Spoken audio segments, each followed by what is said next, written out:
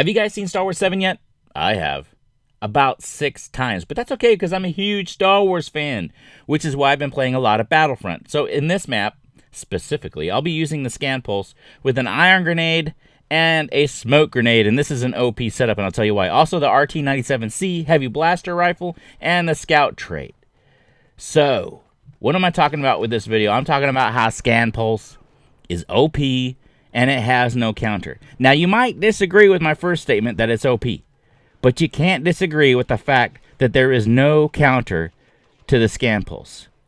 Now, what's a scan pulse? You might be new to Battlefront, so I'm going to explain it to you. It's a 360 degree pulse burst that reveals enemy soldiers, even if they are behind cover or out of sight. It, it illuminates them. They're nice and red. You can see them behind walls. And the thing about it is, they call it a pulse, but it actually lasts for 10 seconds. You can see exactly where they are as they're moving, as they're crouching and hiding, whatever they're doing, you can see exactly where they are. So if you're about to go around the corner and you don't know if the enemy's there, you can trigger your scan pulse and you'll see if there's an enemy there. If the enemy's coming towards the same corner, you can aim down sights and shoot the enemy exactly as he comes around the corner, making your reaction time pretty much instantaneous. The enemy is at a tremendous disadvantage. Now, the thing about a scan pulse is they are great when you're trying to hunt down campers on cargo, people defending their cargo, drop zone, people trying to defend the escape pod, or droid run, people trying to make sure that you don't take their droid run zone. But also, the other thing about Scan Pulse is there's no counter. Now, I'm going to compare Scan Pulse to other video games, and the one I'm thinking about right now is Black Ops 2. I don't know if you guys play Call of Duty. If you do, you may have played Call of Duty Black Ops 2. There's a gun attachment called the Target Finder. And what this does is when the enemy shows up while you're aiming down sights, there is a red diamond that highlights the enemy. This allows you to target the enemy a little bit easier with your weapon shaking while you're shooting and all that stuff. You can target him really easily, even if he's head glitching, and you can shoot him. It's really cheesy. But the thing about the target finder is there was a counter. You can throw a smoke grenade, and he's not going to be able to see you. Well, if you don't have a smoke grenade, you can run cold blooded. Then he's definitely not going to see you because when you run cold blooded, there's no red diamond. So here's my idea for how to counter the scan. And it's going to take a little bit of effort on the part of DICE and EA to implement this into the game. So let's get started. The first thing I want to talk about is what is it that you can equip that's going to allow you to counter scan pulse? What are you going to have to give up? so that you can counter scan pulse. And I was thinking about it. I don't think it should be a normal card where you have to ignite it while you're going into a, wherever you're going to go or while you're defending. It I think it should be a trait. Very similar to scout or bounty hunter or sharpshooter or all those other traits. This is a trait card that's always going to be active. If you like running scout so you can stay off radar, but you don't want scan pulse, you're going to have to give up scout and run a trait. If you like running Bounty Hunter like on drop zone so you can keep getting those power-ups, you're going to have to get rid of Bounty Hunter so that you can run this trait. So what's the trait called? The trait's called Infiltrator. Yeah, Infiltrator. You're going to infiltrate the enemy base and their scan pulses are not going to be able to do anything to you. Now, on a side note, I, I, made this little graphic with Photoshop. Now, DICE and EA use a font called Brandon Grotesque in order to populate, or, you know, it's the font they use for their website to make everything look nice and clean. Well, that font costs $249. And guess who's got two thumbs and is not going to pay $249 for a font? This guy. So I used Futura, which is very similar. Anyway, back to what I was saying Infiltrator. Living the life of a smuggler affords one the ability and technology to slip into most areas more heavily guarded than most. Level 1, medium chance of evading enemy scan pulses, and level 2 is a high chance of evading enemy scan pulses.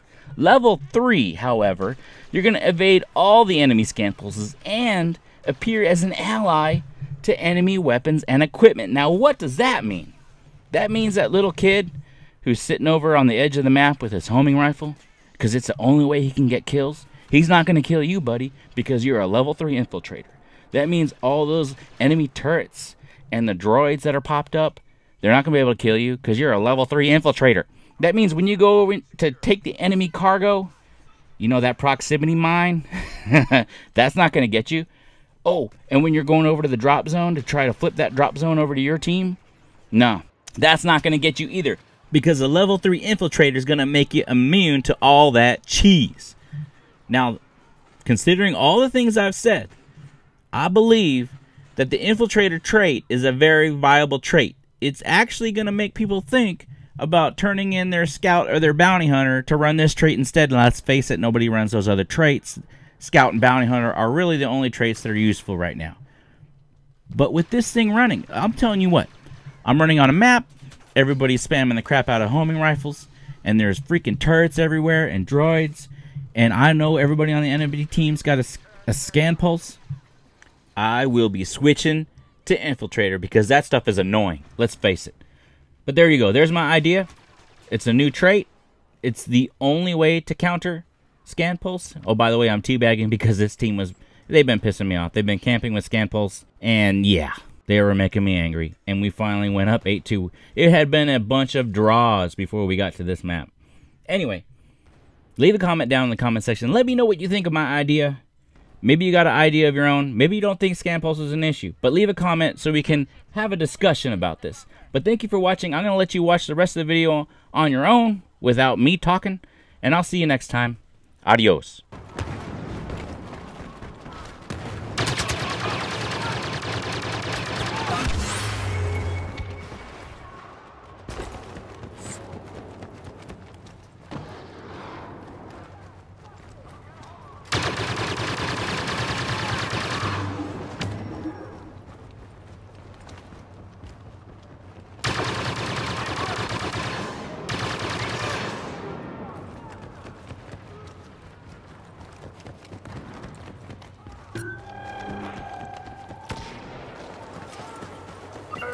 Stormtroopers are in possession of the cargo.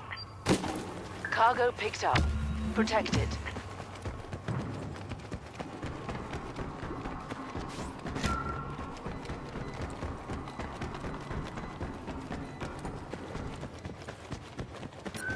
Stormtroopers are holed up in here. Stormtroopers are in possession of the cargo. Cargo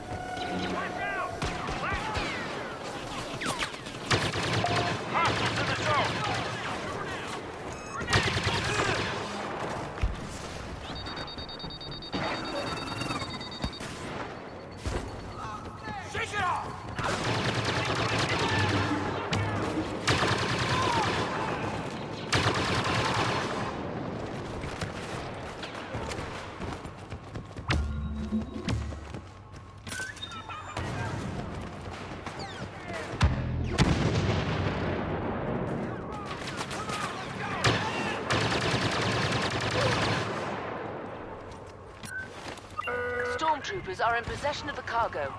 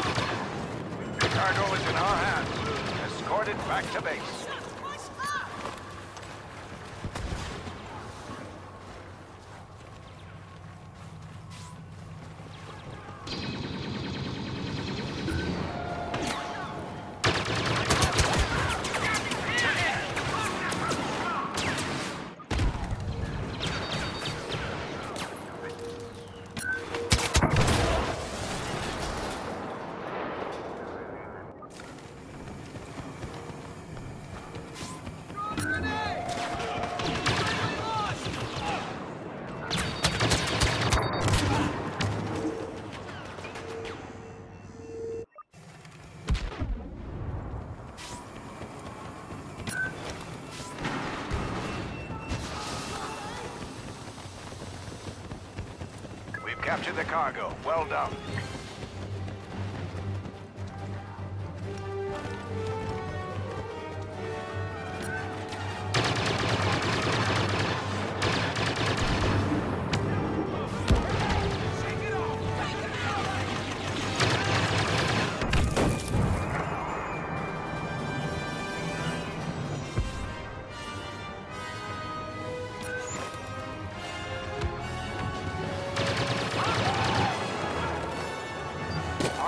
Is safe and sound.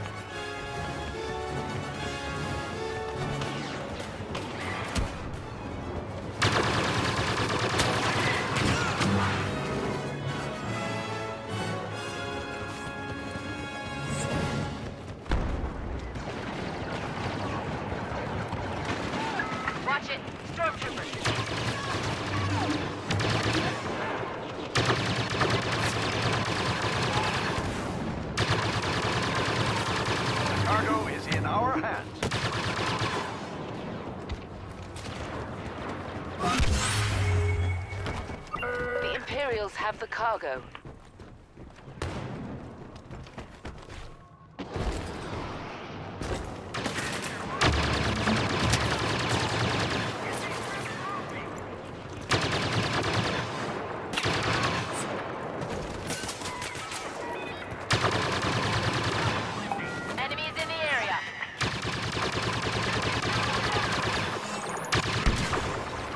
Almost there.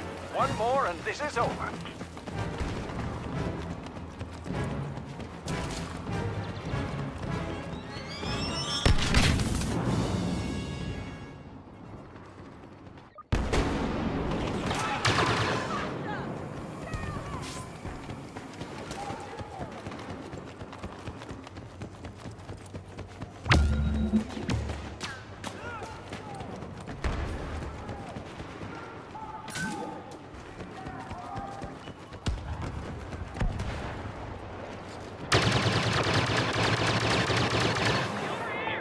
Cargo is lost.